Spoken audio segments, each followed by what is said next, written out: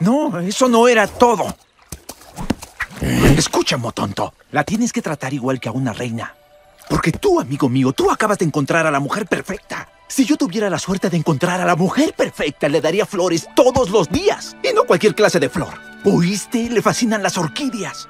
Blancas. Y el desayuno en la cama. Seis rebanadas de pan con mantequilla por los dos lados sin la orilla, así le gusta. Sería su apoyo incondicional y su mejor amigo. Y pasaría todo el día tratando de que no parara de reír. Tiene una muy, muy bonita sonrisa. Sí, porque eso es lo que haría yo si fuera tú. Pero no, así que hazlo. Ah, ok.